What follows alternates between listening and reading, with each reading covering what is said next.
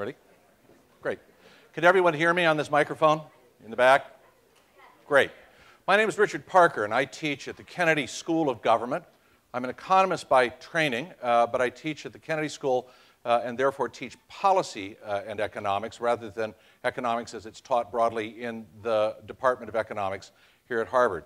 It's a pleasure to follow Steve Marglin, who's one of the great figures of the Harvard Economics Department and uh, a great figure who uh, deserves uh, more attention from all of you, both as a teacher and in terms of his work. And so I, uh, I commend him to you and thank him for uh, speaking here today. Uh, I feel a little bit like Bob Reich used to say he felt when he followed John Kenneth Galbraith. When I follow Steve Marglin, I feel like saying, I used to be just as tall as you were, Professor Galbraith, uh, but uh, in fact, I'm still standing, and uh, I'm not as short as my good friend Bob Reich. But uh, I am convinced that Steve is pointing to a fundamental crisis in the ideology of uh, economics that I think is an ongoing struggle, one that he's been engaged in for more than 40 years, and one that's going to present itself as a struggle going forward over the next several decades, but not without change. It's an important thing to understand that there's more than one way to look at this issue of ideology and economics. Uh, one was offered by Harvard theologian Harvey Cox 20 years ago in an article called The Market as God in the Atlantic Monthly, and I commend the article to you. It's easy to find online. Uh, Professor Cox makes this very interesting observation. He says, Take Émile Durkheim's classic sociological definition of a God based system. What does it claim? It claims that its central power has three qualities it has omniscience, it has omnipotence, and it has omnipresence. And then Professor Cox says look around you in the world today and ask yourself what one system in the world claims to be all knowing, all seeing, and all present not traditional religion as we understand Christianity or Islam or Judaism or Buddhism or Hinduism, but the religion of God. In other words, rather than seeing this potentially as an ideology of economics, you might entertain the possibility, while we're looking for frames, of thinking of this as a theology of economics, with the God that you are meant to worship carrying the name market, or perhaps the word that cannot be spoken, profit. Now, what I want to do is two things. I want to briefly talk uh, about uh, economists and economics uh, to underscore what Professor Marglin has said, and then I want to talk particularly about the Greek crisis, because for the last two years I've been getting on a plane and flying to Athens, where along with Amartya Sen and Joseph Stiglitz, I've been serving as an economic advisor to George Papandreou, who just stepped down as the Prime Minister of Greece. And so, for better or for worse, I've had a close in opportunity to see the so called Greek and so called Euro crisis unfold. And I want to drive home today, if I possibly can, an argument which is not well made or even often surfaced in the American press, although it's gaining more and more interest and credibility in Europe. Let me recommend to you, in addition to Harvey Cox's Market as God article in The Atlantic for a refreshingly light-hearted uh, tweak of uh, economists, uh, an, a report called the COGEE Report. The acronyms are for Committee on Graduate Education in Economics, and it was a report commissioned by the American Economic Association itself. And it asked a dozen and a half uh, prominent economists, including Larry Summers, Joe Stiglitz, Kenneth Arrow, certainly not marginal figures by any means in the profession, to spend a year and a half looking at the state of graduate education in economics 20 years ago. The telling single datum that I like to report is that they found in surveys of graduate professors, professors who teach at the graduate level, not undergraduate, teach graduate economics, that 62% said that the profession was over mathematicized and unrelated to the real world. In other words, nearly two thirds of economists teaching at the graduate level in the United States 20 years ago, by then already recognized a fundamental crisis in the analytic capacities of modern day economics and its relationship to the world as such. A separate survey conducted of graduate students in economics found that the single most important thing graduate students felt they needed to know, this was 95% of them, was uh, mathematics in order to model. Asked if they needed uh, any understanding of the economy itself or of economic history, 10% thought knowing economic history was important, 15 thought knowing something about the economy was important. So I don't know whether that constitutes an ideology, but it does certainly constitute a worldview. That somehow a profession that is meant to serve as an analytics of the world as it is, with the possibility of changing it for something that broadly can be construed as the better, had lost touch with that world and had become hermetically entrapped in questions involving mathematics, but having very little to do with the world as it was experienced by whether one calls it the 99% or the 100% or the 95. So there's a profound uh, uh, lesson to be learned by looking at economists' own analysis of their profession. You can find it in the Journal of Economic Literature, published by the American Economic Association. This is not Marxist, this is not libertarian. This is the mainstream itself, and it, is, and it, and bears reading. You might also want to look at a short article I did in American Prospect about 15 years ago called Can Economists Save Economics? It essentially used material from COGEE and other studies to suggest that this trap of mathematicization of economics and its divorce from the real world was causing economics to become, in some sense, irrelevant. And I interviewed people on Wall Street, people in large corporate firms. Some, one Wall Street uh, person said to me, You know, we like graduates of economics programs, but we really take about five years to get out of their head most of what they've learned before they can become useful to us.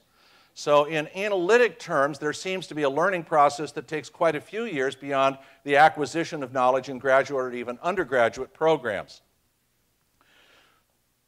I should mention also that the problem of uh, economics as ideology, and at least Harvard's willingness to accommodate competing ideologies, is not new in the last 10 or 15 years. The Harvard Economics Department was the first economics department created in an American university.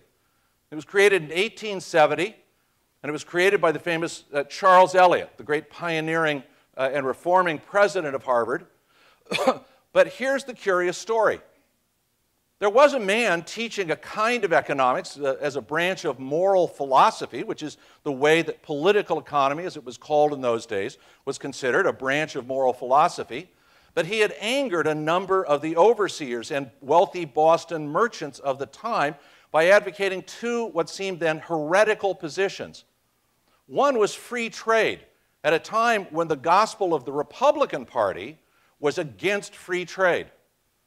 The other was that he wanted Civil War bonds redeemed at par, not taking account of the inflation damage that had been done to. Excuse me, that he wanted the, the, the, the, bonds redeemed at par to take account, not to take account of inflationary damage caused by the Civil War, which was anathema to the very Boston merchants who had bought the bonds in order to help finance the federal government's purchase of material and equipment from those self-same merchants. And so the heterodox views of this economics professor meant that he was persona non grata, and President Eliot, taking this into account, appointed a new young man named Laughlin, who became the first full professor of economics at Harvard, and his qualifications were the following. He had a BA in classics from Harvard uh, College, and he was an editorial writer for a conservative Boston newspaper. President Eliot was, in fact, so embarrassed by the decision he'd made that he insisted on sending Laughlin off to Germany to study for three years before he would actually allow Laughlin to teach in the department. Thus, Harvard Economics was born. Now, I want to talk to you about uh, the Greek crisis because I think many of you know what the Greek crisis is about. What you know is that Greeks are spendthrifts. They're the Dionysians of southern Europe versus the Apollonians of northern Europe. The party animals of the Mediterranean versus the Calvinist doers of, uh, uh, of the north. You know that uh, they have borrowed recklessly and uh, with abandon. You know that uh, they don't work hard at all, And you know that they are fundamentally anti business. Nobody can actually start a business in Greece because it's such a hostile, left wing, as well as lazy ass country. Let me offer you a little bit of data. The first is that from mid 1990s to the mid 2000s, Greece was the fastest growing country in Europe, over 4.5% per year.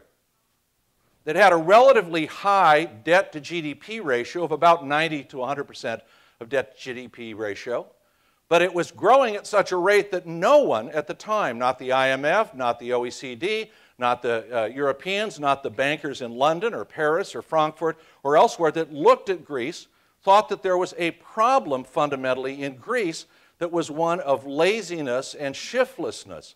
Quite to the contrary, many across Northern Europe in the early part of the 21st century admired Greece as a, as a new story of what, uh, uh, what Europe could do uh, if, uh, if allowed to compete successfully in a larger and integrated Europe.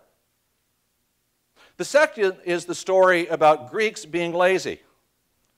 Well, in fact, what you find looking at eight OECD comparative tables is that Greeks work the longest hours per year of any country in Western Europe. The longest hours of any country in Western Europe. Now, you've heard another story, as I say, which is that they're anti business. In fact, they have the highest number of entrepreneurs, the highest number of small businesses in Europe.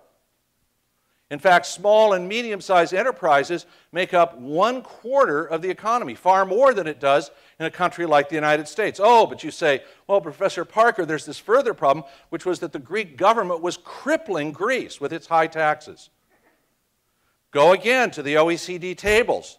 Look at the tables for Greece and look at the tables for the United States. We here in America pay a higher percentage of GDP in taxes uh, uh, I'm sorry, the Greeks pay a higher percentage. No, I'm sorry. The Greeks pay a higher percentage of GDP in taxes than the Americans do. It isn't that the Greeks don't pay taxes, they pay a, a, a quite high level of taxes. How is this possible when we hear all these stories of income tax evasion?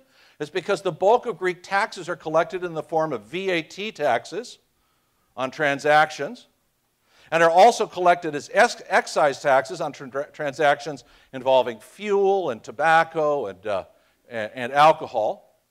And they're also collected as deductions from monthly payroll checks in the form of Social Security, with Social Security being a much larger chunk of one's uh, uh, average paycheck because Social Security in Europe is so much more comprehensive. As a consequence, roughly 33 to 35 percent of GDP in Greece is absorbed by taxation. So now we have a different story of what's going on in Greece, at least one that doesn't seem to match up with the commonplace Michael Lewis story of, of the Dionysians. We have a story of a people working hard, of a people that are fundamentally a culture of small business. Any of you who've been to Greece know the thousands of tavernas and little shops. This is not a country of Walmart. This is not a country of General Motors. This is not a country of the vast suburban shopping mall. This is where entrepreneurship and business, in the classic neoclassical textbook sense, is alive and well. Huge numbers of small actors unable to influence the their prices and therefore competing against one another in order to uh, optimize profit at the margins. Now, how then is it that this story of the Greeks as moral failures grew up so quickly in 2009 and became the reigning dogma of the story we tell about the Greek crisis. Let me submit that it fit perfectly, this story, inside a story that Germans were prepared to believe about what they saw as the overarching failure of Europe, which was the overarching unwillingness of Europe to be German. I mean this metaphorically, but I also mean it quite really. It's also important to understand that it was not simply a German question, but a conservative German question. We overlook politics and so much of what we talk about in Europe today, but what we have to remember is that the governments that have fallen are the socialist government of Papandreou in Greece, the socialist government Soares in uh, Portugal, the socialist government in Spain, all, while uh, meanwhile, all, all at the behest or all at the unwillingness of conservative governments in Paris and, and, and, and Berlin to act to bail out Europe. Now, what could this possibly be about? Why would the Germans take this attitude? Well, it is the case that there is embedded deep in German culture a fear of Weimar like inflation. One cannot discount this. But there's also an unacknowledged role that the Germans have in creating the crisis that we label as the crisis of Greece or even the crisis of the euro, and that is this which is that with the coming of the integration of European countries into single customs and then single currency zones, Germany acquired a huge advantage compared to its competitors.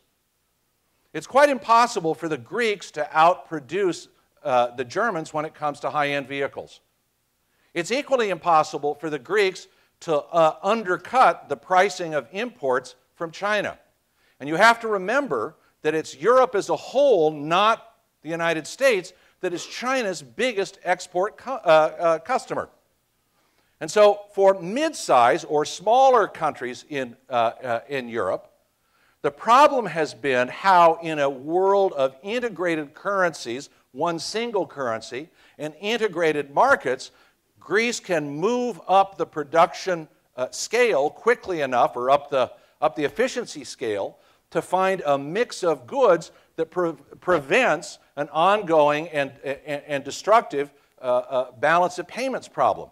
And that's really where Greece's problem lay all along in this period. As Greece was growing, it was growing more affluent and it was importing more from Germany. Greece's deficits were mirrored euro for euro in Germany's surpluses. And Germany, not Greece, acted irresponsibly by being unwilling to rechannel those surpluses back into Europe as a whole to maintain overall European growth. The problem was not in the last decade Greece or Portugal or to some extent Spain. Each of these stories has more complications than I'm allowing for. But the central responsibility lay with the Germans and their huge trade surpluses and their unwillingness to recycle those trade surpluses in such a way that it mitigated the current account balances that so many of these smaller and relatively weaker economies uh, uh, were facing. Nonetheless, the growth story of Greece is quite impressive. As I tell you, for a decade, it was the fastest growing country in Europe. And so, despite adversity, it was moving forward. And the fact that it was not increasing its debt to GDP ratio is a sign not only of its uh, growth, but of its ability for a time to manage its current account imbalances. So, what went wrong? In short, I would argue that Greece was roadkill, collateral damage, when Wall Street broke down. It wasn't that Greece was the problem, it was that Wall Street was the problem. And it was that Washington had conspired with Wall Street to remove regulations on uh, Wall Street operators of all kinds, whether it obtained uh, in terms of the products that were being offered, that were oftentimes not merely opaque but dishonestly opaque, the CDOs crammed with crappy mortgages alongside good ones that were sold off with excellent credit ratings from our friends at Standard & Poor's, which never noticed there was a problem until three weeks before the market started collapsing. Oops, what kind of credit rating is this? A uh, credit rating agency is this? It doesn't notice there's a problem at Pearl Harbor until the Arizona sinks. This is quite peculiar in terms of its claim to serve an efficient role in terms of monitoring credit markets in the United States or the world as a whole. The second problem was that the shadow banking system, that para banking system that was not encompassed by regulated entities of the old banking system that most of us, or at least of my generation, had grown up with, meant that you had, at, uh, by 2006, over $2 trillion parked in hedge funds that, while they operated for the most part out of Fairfield and Greenwich, Connecticut, were incorporated in the Cayman Islands and the Bahamas. Now, a friend of mine looking at data from the Federal Reserve a couple of years ago noticed that of the foreign, foreign countries that hold U.S. treasuries, China is, of course, number one, Japan, number two, but if you look, number six is the Cayman Islands. This is an island, a one island, with 16,000 population. And as my friend said, damn, they must have a hell of a lot of ATMs on that island to need that amount of money. So, what you've had over the last 10 years is not an increasing problem of the Greeks, but an increasing failure of the Americans to regulate our financial system in a way that we know has done enormous damage to us, but which I want to tell you here has and continues to do enormous damage to Europe and other parts of the world, and it is not within the power of Greece alone, nor of Europe if it continues to focus only on the issue of the euro and of fiscal, financial, uh, fiscal responsibility to solve this problem. Fiscal federalism by itself and coordinated uh, uh, uh, supervision of national government budgets and the locking in of national budgets to a no deficit constitutional rule does not address the problem. This is the broken leg of a man who has cancer. And the cancer is that Europe collectively does not have the power to constrain American finance capital because America is unwilling to constrain American finance capital. Out of Dodd Frank so far, we don't have significant regulation of capital markets. We have more banks too big to fail today than we did five years ago. The six largest banks in the United States control something like 65% of the total deposits of banks. The sum total of the GDPs of the world today, of all the 200 and some countries of the world today, is about 60 or 65 trillion dollars. The sum total of the value of all derivatives traded in markets today is somewhere north of 600 trillion dollars. And this is just of derivatives. What we have created is a global financial system which has vastly outgrown not just the power of individual governments to regulate it, but of utility for the world of real goods and real production.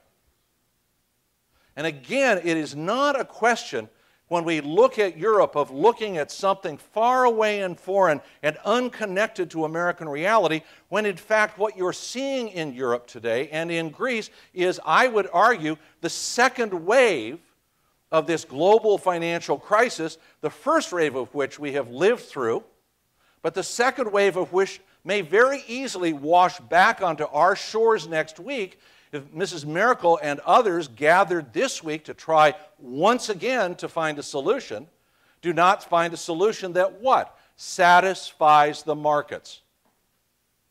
What world of democratic governments do we live in when the lives of 400 million people in Europe are subordinated to the affection or disaffection of the markets? We need to change the ground rules of the relationship between markets, in particular financial markets, and governance. And it is not a solution that can be found on a nation by nation basis any longer. It must be found on an international basis, and this will be one of the great political struggles of your era, just as Glass Steagall and the Securities and Exchange Act were the great struggles of the 1930s. Those laws put in place a regulated financial system that for 40 years served the United States and the majority of its population. From the mid 1930s to the mid 1970s, there was not one, not one single major bank failure in the United States. You're looking at the alternative reality, at the alternative possibility of seeing massive systemic failure on a decadal basis going forward. The IMF already reports that three quarters of its member countries have gone through a major financial market collapse, and that was prior to 2008. So, what I want to tell you out of the Greek experience, what I want to tell you out of the European experience is that while all of you need to focus on turning around what is wrong with Wall Street, remember that it is not an American but a global problem. And you need allies across the Atlantic and across the Pacific and a politics that is truly transnational, not national, if you plan to succeed. Thank you.